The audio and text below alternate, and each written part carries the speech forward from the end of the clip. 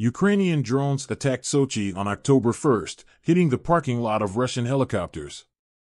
According to sources, the main Directorate of Intelligence is behind the attack.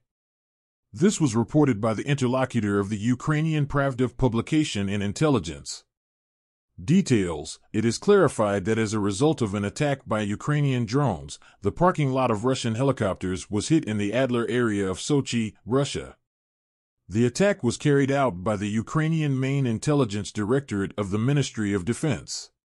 Усім дякую за перегляд. Коментуйте новини, ставте лайки, підписуйтесь на канал.